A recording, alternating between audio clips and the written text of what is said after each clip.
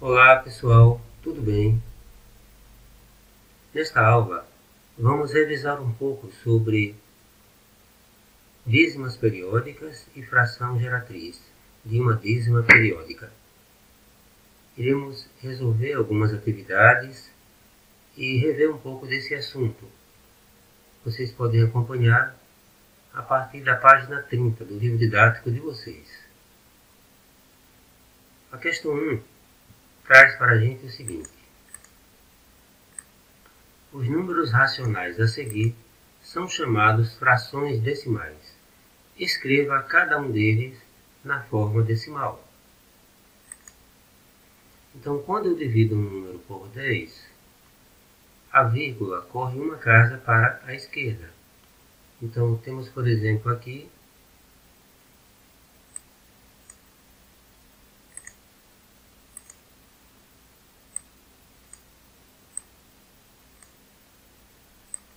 sete. É como se a vírgula estivesse aqui. Então ela vai correr uma casa para a esquerda. Vai ficar então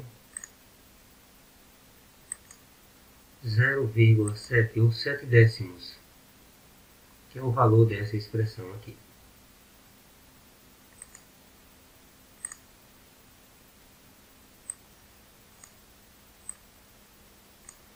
Trinta e um décimos. Então podemos escrever o número trinta e um. Então a vírgula se estivesse aqui, corre uma casa para a esquerda, fica então aqui. 3,1. 6 centésimos. Escrevemos o número 6. Então, se a vírgula está aqui, se correr para aqui, foi uma casa para a esquerda. Mas como é dividido por 100, tem dois zeros, correrá duas casas.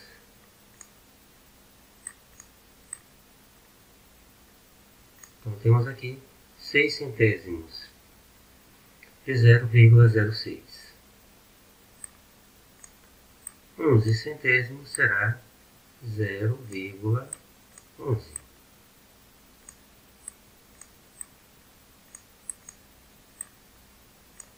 Cento e sessenta e dois centésimos. Escrevemos cento e sessenta e dois. Se a vírgula está aqui, correndo duas casas para a esquerda, ela vem para aqui. Então, vamos obter o número 1,62. 9 milésimos, escrevemos assim, 0,009. Como o meu tem 3 zeros, a vírgula que está depois do 9 corre 3 casas para a esquerda. 1, 2, 3. Então fica 0,009. Aplicando o mesmo princípio, 29 milésimos será 0,029. 385 milésimos ficará então 0,385. 82 décimos será então 8,2. 163 décimos será. Escrevemos 163 e a vírgula nesse caso corre apenas uma casa. Fica então 16,3. 427 centésimos, escrevemos o número 427 e a vírgula correndo duas casas para a esquerda ficará 4,27. E o número 1104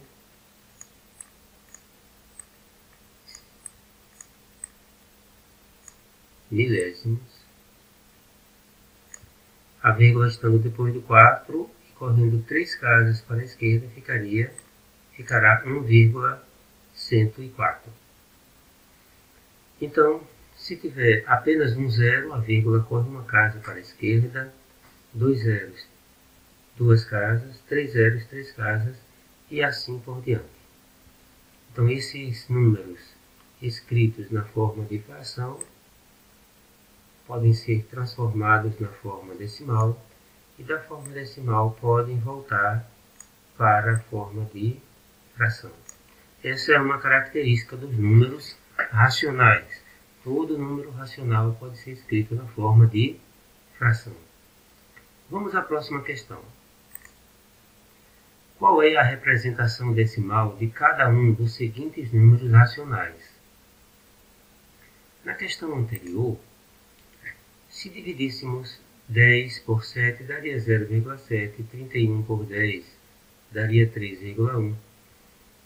Então, quando nós temos no denominador potência de 10, fica mais fácil, basta então deslocar a vírgula. Se for 10, tem um zero, uma casa.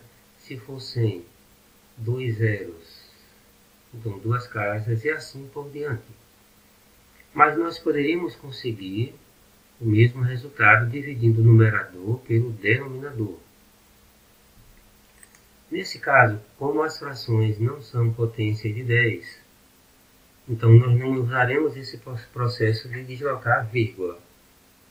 Mas nós podemos conseguir a representação decimal dessas frações dividindo o numerador pelo denominador.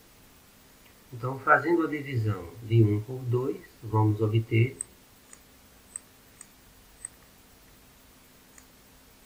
zero vírgula cinco.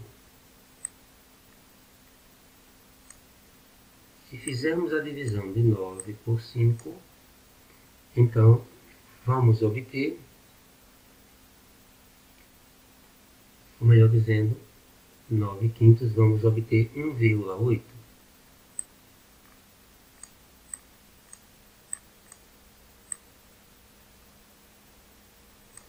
Na letra B, 7 terços, vamos obter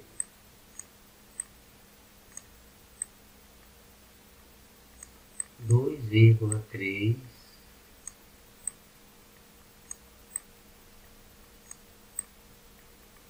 infinitos três. Na letra C, 37 vinteavos. Isso aqui será igual a 1, vírgula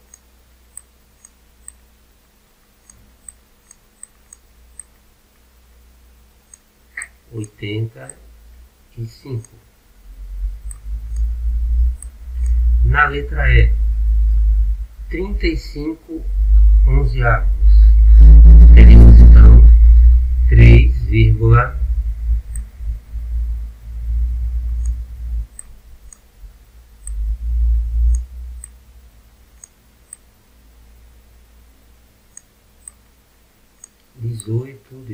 dezoito, infinitos, dezoito. Na letra F temos 11 nonos. Isso nos dá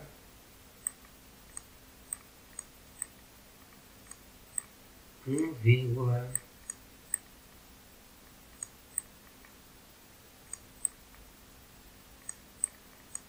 infinitos 2, 1,222 infinitos 2.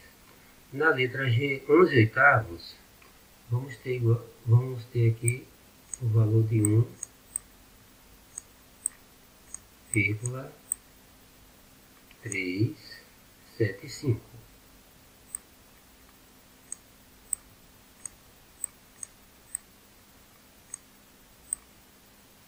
Dividindo 11 por 8.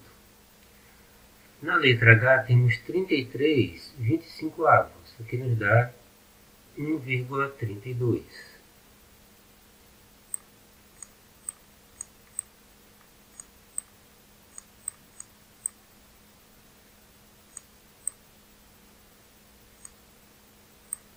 Na letra I, 3 20 avos. Vamos ter então 0,15.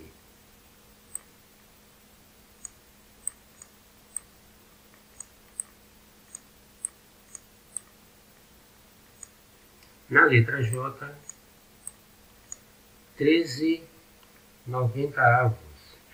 Isso nos dá 0,1444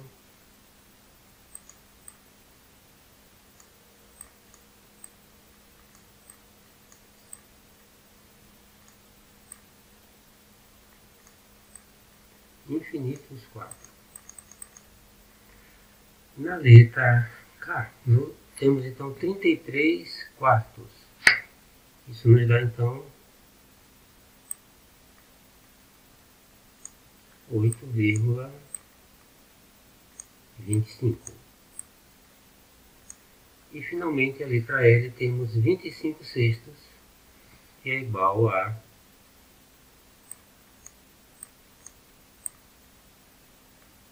4,1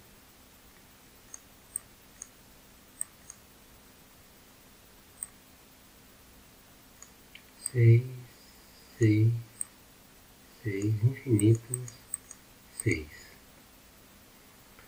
Agora observe o que se pede no item 3. Classifique os números decimais do exercício anterior em decimais exatos ou dízimas periódicas. Os decimais exatos podem ter uma casa decimal, duas, três, mas uma quantidade finita de casas decimais. E as dízimas periódicas, eles contêm infinitas casas decimais organizadas em período. Então, o que, que nós podemos dizer do item A? Trata-se de uma de um número decimal exato.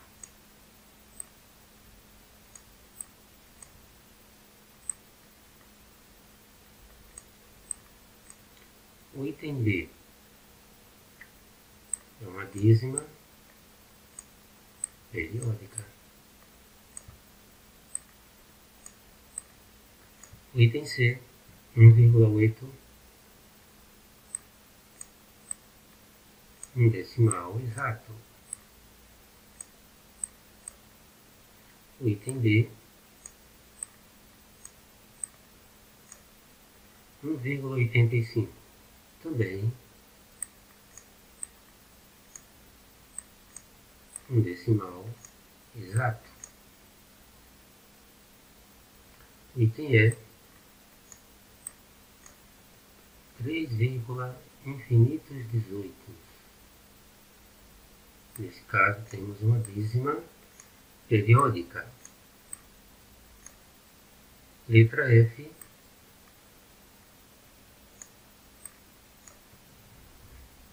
Um vírgula dois dois dois infinitos dois. Também uma dízima periódica. A letra G.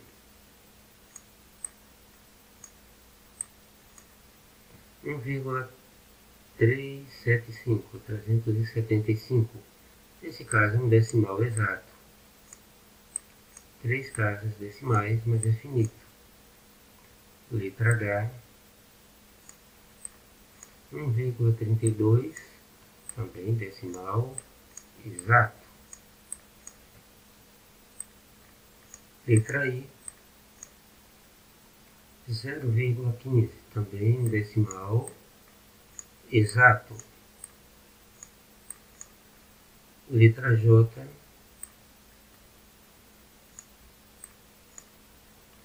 zero vírgula um quatro quatro infinitos quatro. Nesse caso temos uma dízima periódica. Item K temos um decimal exato, duas casas decimais, e na letra L temos um, uma dízima periódica, 4,1666 infinito 6. Passando então para a questão 4 ainda da página 30, que pede para nós identificarmos em cada caso o período dessas dízimas. Nesse caso aqui, o período é 2, é o número que se repete. No item B, o período é 7. No item C, 0, 1. No item D, 3. No item E, temos um antiperíodo, que é o número 4, e o período é 56. Tem a parte inteira, que é menos 3, o antiperíodo, que é 4, e o período, que é 5, 6. E na letra F, temos como período 0, 30, 4. Depois repete 0,34 infinitamente. Então, essas são algumas atividades da questão da página 30. E vamos agora para as atividades da página 32. Aqui pede para encontrarmos a fração geratriz das dízimas periódicas a seguir. Vamos usar um método muito prático para descobrirmos as dízimas periódicas. A primeira coisa que devemos olhar é para o período.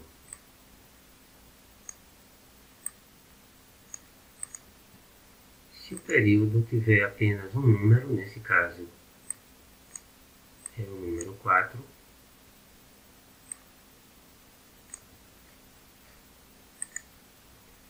Então, no denominador, colocamos apenas um, um número, 9.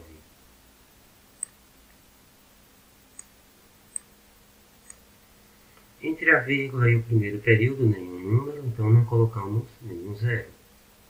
E fazemos agora o seguinte, do primeiro período aqui para frente, o que, é que nós temos Lembrar que esse número é um número negativo. Então, desse primeiro período e os números que o antecedem formam o número 24. Menos o número que está na frente dele, que é 2. Ou quero dizer que veio antes do período, que seria o 2. Então, colocamos então aqui 24 menos 2, formar o número 22. Colocamos o menos porque ele é um número negativo. 22 nonos. Essa é a dízima, essa é a fração geratriz dessa dízima periódica. B, de modo semelhante, nós temos aqui o seguinte. Olhando então para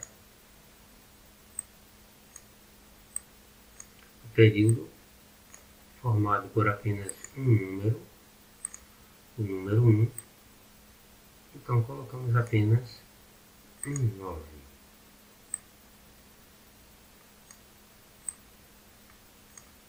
Do primeiro período para frente, então o que temos aqui forma o número 1 o que está antes do primeiro período, o zero.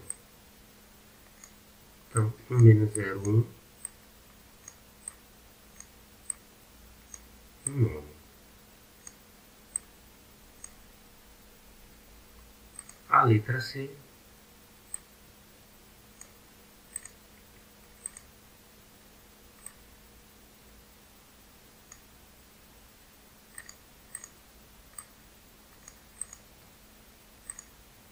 período é formado por apenas um número. o número 8.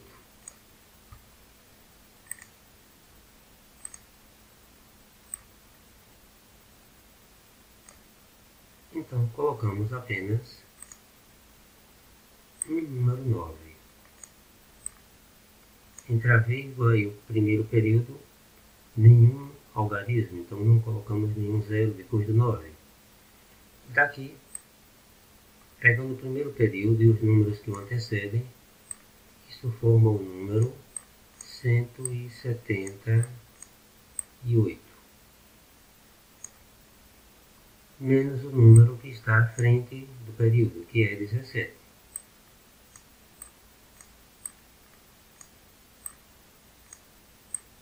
Cento e setenta e oito menos dezessete,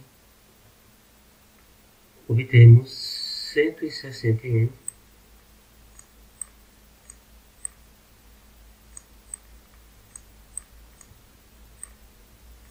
Números.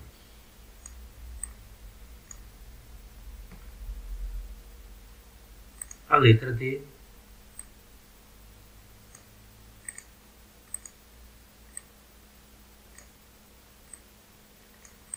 Número negativo, então colocamos o sinal de menos, traço de fração, e aí fazemos qual o período. Primeira coisa que olhamos, o período 35 formado por dois números, então colocamos dois noves.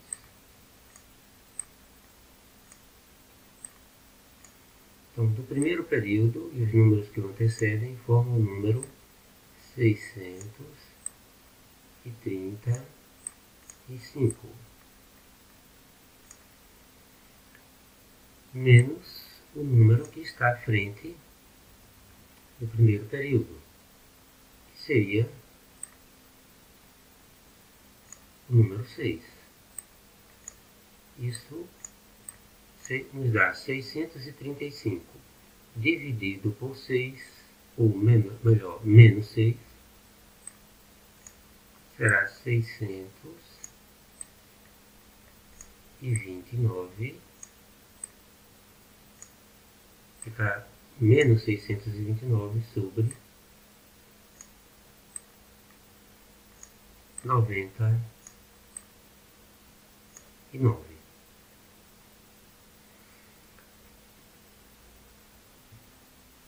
Prosseguindo, o item E, temos aqui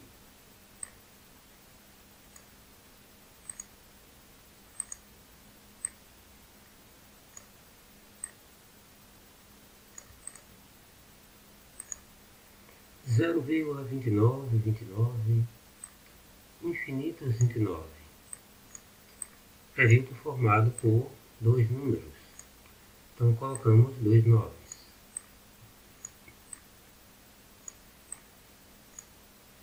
E aqui ficará assim, 29, primeiro período, seria 0,29, que é o mesmo 29 menos 0. Portanto, 29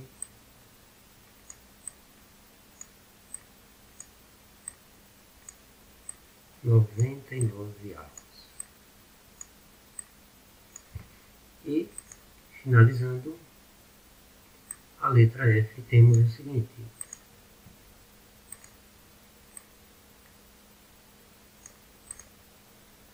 Nesse caso, é o perímetro é composto por 102, 102, quer dizer três algarismos. Então, nesse caso, colocamos 39.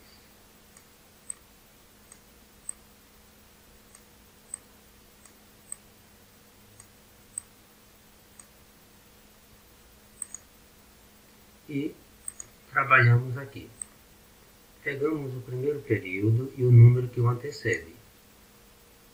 Isso forma o número 2102 menos o número que antecede o primeiro período, que é 2. Então vamos ter 2100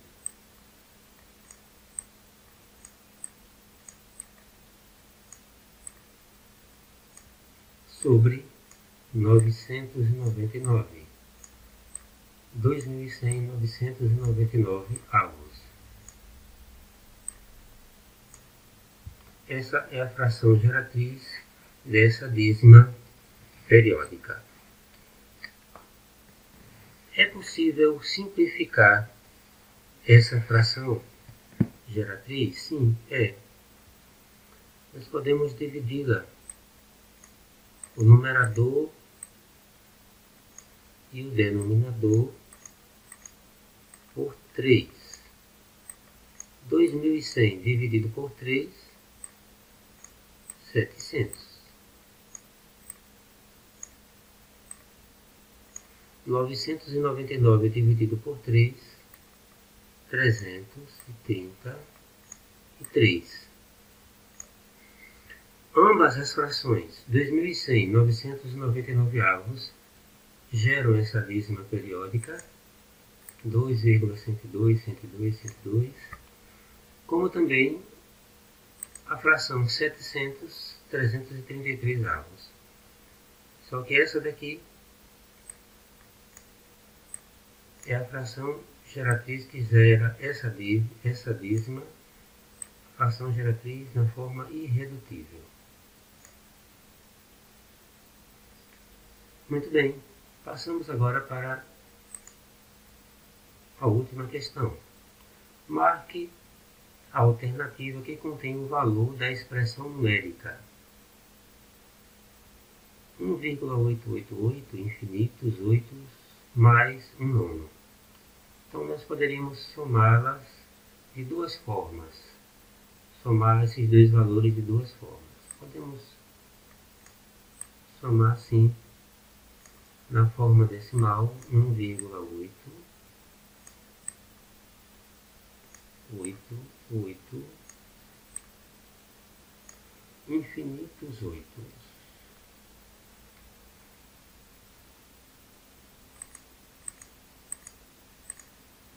E o que é um nono? Na verdade, Isso aqui mais um.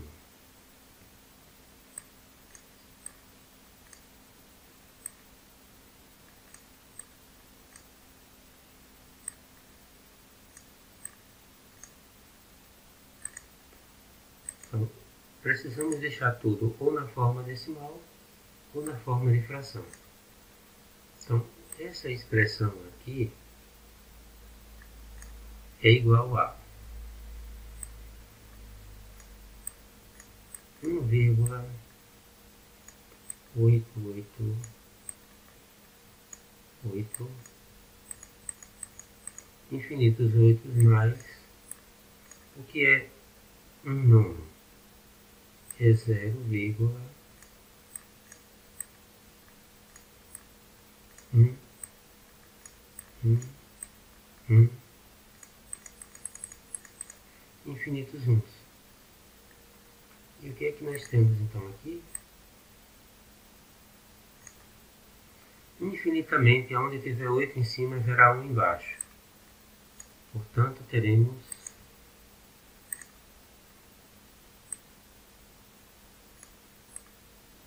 nove, nove, nove vírgula 1,9999 infinitos noves. Nós podemos transformar isso aqui em uma fração geratriz. Isso aqui equivale a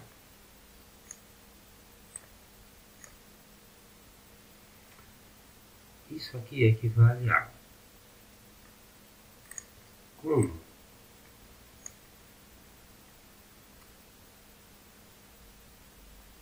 o período aqui é 9, nós colocamos apenas formado por apenas um número, nós colocamos apenas um 9 aqui. No numerador nós vamos colocar primeiro período e o número que está na frente, 19, menos o número que está na frente. Isso vai nos dar 18 sobre 9. E é igual a 18 dividido por 9, 2. Então a resposta, a letra D, 2. Essa seria uma forma de nós fazermos essa soma. Mas nós poderíamos também transformar esses números em frações. Transformar tudo na forma de fração, ou seja, 1,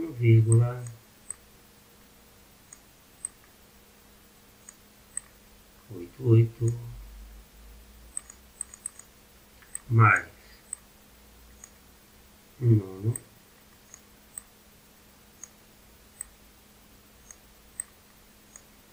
isso será igual a essa dízima aqui,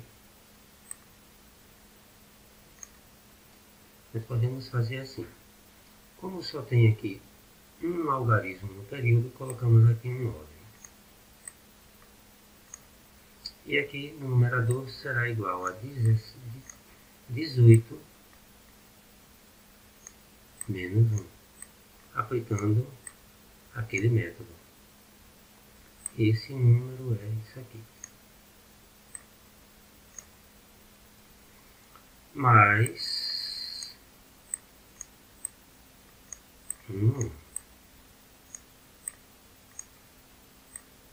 que nós temos aqui 18 menos 1, 17 nonos, mais 1 nono. Que nos dá, como denominador é igual, repetimos o denominador, 17 mais 1, 18. 18 nonos 18 dividido por 9, 2. Então, para somarmos números na forma decimal e de fração, ou convertemos tudo para fração ou tudo para forma decimal. Mas é impressionante a exatidão da matemática quando ela nos permite fazer uma soma com infinitas casas decimais e obter um resultado exato. Espero que tenham gostado, que continuem estudando e praticando. Desejo a todos, então, bons estudos e até a próxima aula.